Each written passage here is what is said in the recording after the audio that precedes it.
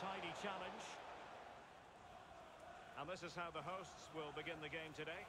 Jan Oblak gets the nod in goal.